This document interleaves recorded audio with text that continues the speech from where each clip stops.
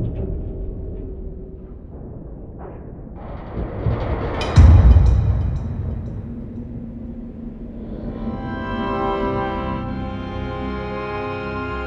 I was little and we used to move all the time,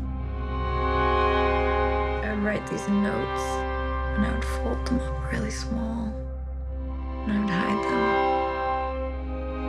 What'd they say? They were just like things I wanted to remember so that if I ever wanted to go back, there'd be a piece of me there waiting.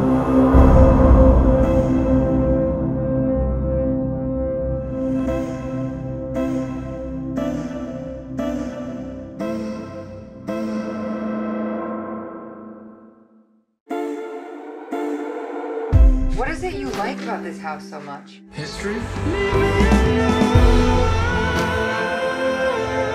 Songwriter writes a song.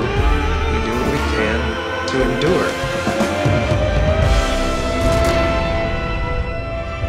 We build our legacy piece by piece, and maybe the whole world will remember you, or maybe just a couple of people, but you do what you can to make sure you're still around after you're gone.